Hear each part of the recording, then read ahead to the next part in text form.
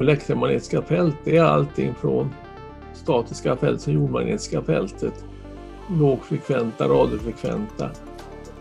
Synligt ljus är också eh, elektromagnetiska fält. Så att, att jag ser dig här nu i, på databilden, det är en biologisk effekt av elektromagnetiska fält. Men det är förhoppningsvis ingen hälsoskadlig effekt att jag ser dig. Eh, så man måste skilja mellan biologiska effekter och hälsoeffekter. Vi ska se närmare på några av de effekter som utgör risker för oss människor.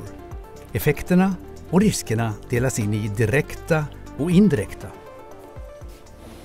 De riskerna som finns med EMF är att man inducerar ström i kroppen, man inducerar ström i nervbanor.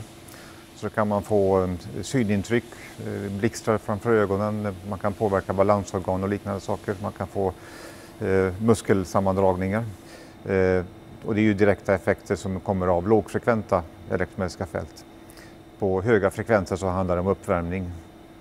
Och indirekta effekter finns det också. Det kan ju vara till exempel att man, man får en yrselattack och så ramlar man och så kan man ramla ner från en plattform eller liknande. Och det är ju också en effekt av det elektromagnetiska fältet fast en indirekt effekt av fältet. Då.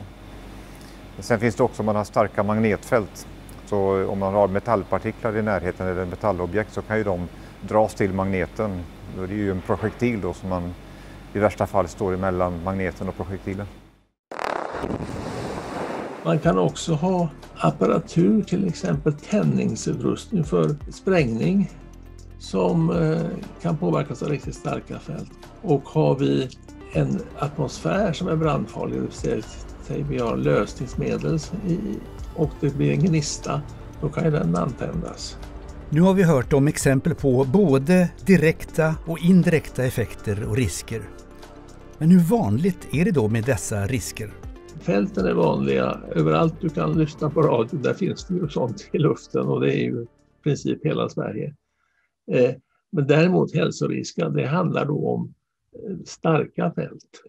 De flesta verksamheter träffar inte på de här eh, hälsoskadliga Däremot har det uppstått nästan på varje ställe frågor. Ja, men vi har ju sådana med pacemaker, vi har sådana med implantat. Och då är vi i ett annat läge.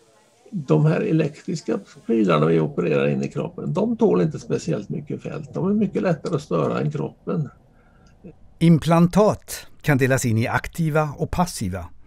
Aktiva implantat är exempelvis pacemakers, hörselimplantat och insulinpumpar.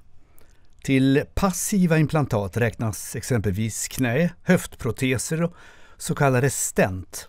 Implantaten kan bland annat påverkas på så sätt att deras funktion störs eller att de blir uppvärmda. Även gravida räknas in i kategorin riskgrupp. Som arbetsgivare är det viktigt att du håller alla dina anställda informerade om de riskmiljöer som finns på arbetsplatsen. Arbetsuppgifterna kan också om möjligt behöva anpassas.